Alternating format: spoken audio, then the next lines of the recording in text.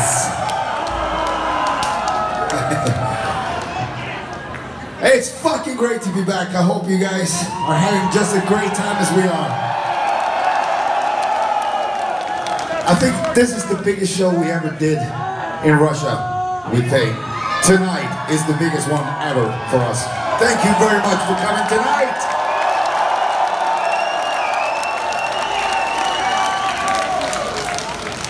So, uh, why don't we do the same old song?